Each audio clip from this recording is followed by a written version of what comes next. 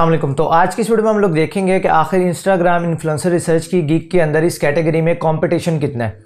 क्योंकि कंपटीशन को पहले चेक करना ये बहुत ज़्यादा ज़रूरी है। अगर आप लोगों को कोई ऐसी गिग या ऐसी सर्विस मिल जाती है जिसके अंदर कंपटीशन कम है तो आप लोगों के लिए उस स्किल या उस कैटेगरी में ऑर्डर्स मिलने के चांसेस बढ़ जाते हैं। तो इस वक्त अगर आप स्क्रीन पर देखें तो मैंने सर्च किया हुआ फाइंड बेस्ट इंस्टाग्राम इन्फ्लुएंसर और यहाँ पर ऑलरेडी हमने चेक किया था कि लोगों को इस गिग के ऊपर ऑर्डर मिल रहे हैं यानी कि गिग्स कम है बट ऑर्डर ज़्यादा है यानी कि डिमांड ज़्यादा है इस सर्विस की। सो so, अगर हम यहाँ पर देखें तो इस कीवर्ड पर इस वक्त जस्ट 1100 ऑलमोस्ट 1100 गिग्स है। कोई भी कीवर्ड या कोई भी कैटेगरी जिसके अंदर टेन थाउज़ेंड से कम गिग्स हों, सात हज़ार, आठ हज़ार, पाँच हज़ार तो वो एक बहुत अच्छा कीवर्ड या बहुत अच्छी कैटेगरी है, उसके अंदर आप लोगों को ऑर्डर मिलने के चांसेस ज़्यादा हैं। और स्पेशली अगर उस कीवर्ड पर या उस कैटेगरी में ऑर्डर्स भी मिल रहे हो, जो कि हमने देखा लास्ट वीडियो में भी और इस वीडियो में भी। और इस कोर्स में मैं आप लोगों को ये भी सिखाऊँगा कि आप लोग किस तरह अपने गिग को फ़र्स्ट पेज पर लेके आओगे, ताकि आप लोगों के ऑर्डर्स मिलने के चांसेस भी इंक्रीज हो। अगर हम दूसरी कुछ कैटेगरीज की बात करें तो यहाँ पर अगर आप देखें एस में अगर हम देखें तो ऑलमोस्ट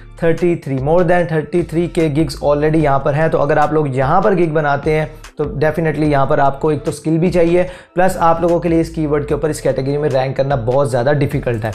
एक और एग्जांपल अगर हम देखें लोगो डिज़ाइन की तो अगर यहाँ पर आप गिग्स देखें, एक लाख छब्बीस हज़ार more than one lakh gigs so इसलिए ये एक ऐसी निश या एक ऐसी कैटेगरी आप कह सकते हैं कि बिगनर्स के लिए स्पेशली ये बहुत अच्छी कैटेगरी है। अगर आप लोग स्टार्ट लेना चाहते हैं फ्रीलांसिंग तो ये स्किल आप लोगों के लिए बेस्ट है। और इसके अंदर जो हमने लास्ट केस में बात की थी कि email templates negotiate Instagram tips ये सभी टेम्पलेट्स आप लोगों को इस कोर्स के अंदर इनरोल करने पर फ्री ऑफ़ कॉस्ट मैं प्रोवाइड करूँगा। वर्ड डॉक्यूमेंट में आप सिंपली उन्हें यूज़ कर सकते हैं कहीं पर भी। तो और मैं बताऊँगा कि इसको आप यूज़ किस तरह करेंगे इन टेम्पलेट्स को ज़्यादा अर्न करने के लिए। सो so, अगर आप लोगों के पास कोई भी स्किल नहीं है और आप लोग फ्रीलांसिंग में स्टार्ट लेना चाहते हैं तो ये एक स्किल ये एक कैटेगरी आप लोगों के लिए बेस्ट हो सकती है।